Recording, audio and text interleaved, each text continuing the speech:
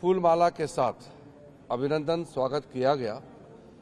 और सब एनडीए के दलों की ओर से प्रधानमंत्री जी को शुभकामनाएँ दी कि देश का संचालन और देश को एक विकसित राष्ट्र बनाने के लिए पूरा एनडीए एकजुट होकर के आदरणीय प्रधानमंत्री नरेंद्र मोदी जी के नेतृत्व में आगे जाने का और देश का सेवा करने का। आज, क्योंकि ये पहला बैठक था और हमारे पास हाउस का जो बिज़नेस है, राज्यसभा, लोकसभा का, एक सीमित है। राष्ट्रपति जी का अभिभाषण पर चर्चा ही था और ओथ एंड इंफॉर्मेशन का ही था तो उसका हाईलाइट किया गया और मुख्य रूप से आदरणीय प्रधानमंत्री जी का मार्गदर्शन हुआ। आज प्रधानमंत्री जी ने जो बातें एनडीए के साथियों के साथ सारे एमपीज को शेयर किया है और जो गाइड किया है, हम लोगों को एक मंत्र दिए हैं, ये बहुत महत्वपूर्ण है। आज सबसे पहले तो प्रधानमंत्री जी ने कहा कि हर एक एमपी सदन में देश सेवा के लिए आए हैं। बाकी कोई भी पार्टी का हो, किसी भी दल का हो, लेकिन देश सेवा, ये प्रथम हमारा दायित्व है। और हर एक एनडीए का एमपी को देश को सबसे ऊपर रख करके काम करना है, ये आदरणीय प्रधानमंत्री जी ने आग्रह किया है। दूसरे जो हमारे एमपीज का जो आचरण है, हमारा बिहेवियर, हमारा कंडक्ट उसके बारे में प्रधानमंत्री जी ने बहुत अच्छी तरह से हमको मार्गदर्शन दिया। प्रधानमंत्री जी का कहना है कि हर एक एमपी अपने अपने क्षेत्र का विषय को बहुत ही प्रभावी ढंग से सदन में रखना चाहिए और रूल के मुताबिक, नियम के मुताबिक। देश का और भी कोई बड़ा विषय हो जिसमें रुचि है सांसद होने के नाते अपने अपने रुचि होते हैं, उसमें एक्सपर्टाइज डेवलप करना है। कोई एमपी पानी के विषय में, कोई एमपी पर्यावरण के विषय में, कोई एमपी सामाजिक क्षेत्र में अलग अलग रुचि होता है तो उसमें एक्सपर्टाइज डेवलप करने के लिए प्रधानमंत्री जी ने आग्रह किया है। और सारे एनडीए के सांसदों को आदरणीय प्रधानमंत्री जी का आग्रह है कि हम सदन का नियम, पार्लियामेंट्री डेमोक्रेसी का जो सिस्टम है और एक अच्छा सांसद बनने के लिए जो आचरण की आवश्यकता है, वो पूर्ण रूप से अपनाए। और हम नियम के साथ और पार्लियामेंट्री जो कन्वेंशन है, ट्रेडिशन है, उसी के साथ पेश आना चाहिए। तो ये प्रधानमंत्री जी का जो मार्गदर्शन रही है, मैं मानता हूँ कि हर एक एमपी को, खास करके जो पहले बार चुन के आए हैं, ऐसे सांसदों के लिए बहुत अच्छा मंत्र दिया है और प्रधानमंत्री जी के बात को सुन करके एक अच्छा प्रभावी सांसद बनने में पूरा आगे मौका मिलेगा और इसी मंत्र के साथ हम सब चलेंगे।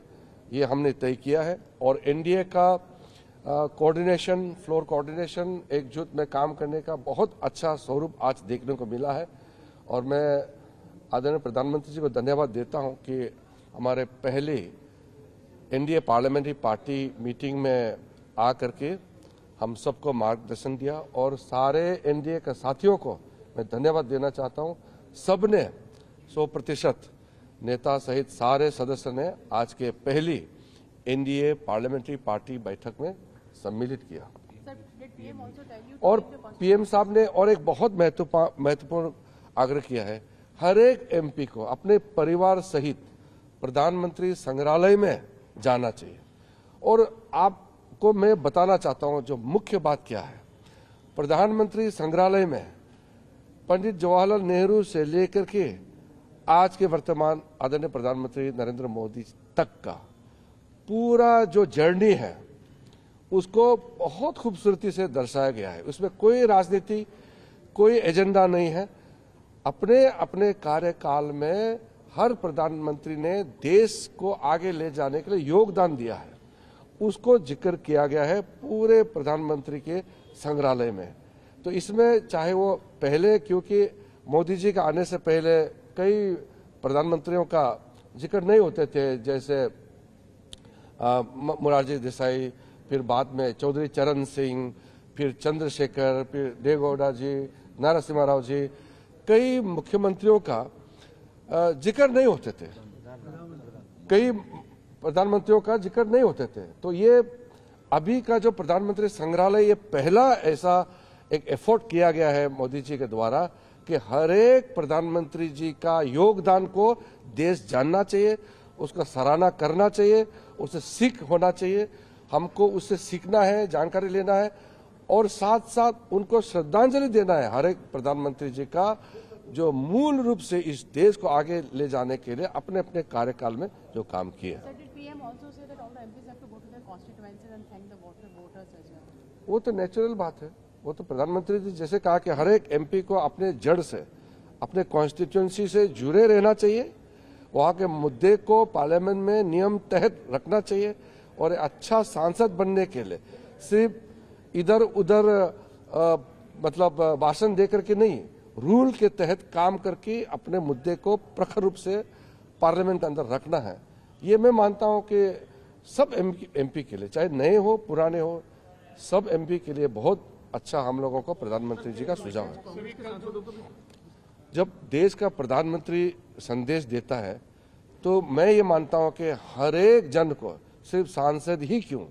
हर एक जन को सीरियसली लेना चाहिए क्योंकि हमारा देश का नेता है, हमारे देश का प्रधानमंत्री है, हमारे देश के महान जनता ने तीसरी बार लगातार ऐतिहासिक प्रधानमंत्री बनाया है आदरणीय मोदी जी को। तो उनके हर शब्द, हर वाक्य सुनने लायक है, फॉलो करने लायक है और उससे बहुत सीख मिलता है। जो पार्लियामेंट में बिहेवियर होना चाहिए लेकर प्रधानमंत्री ने बोला।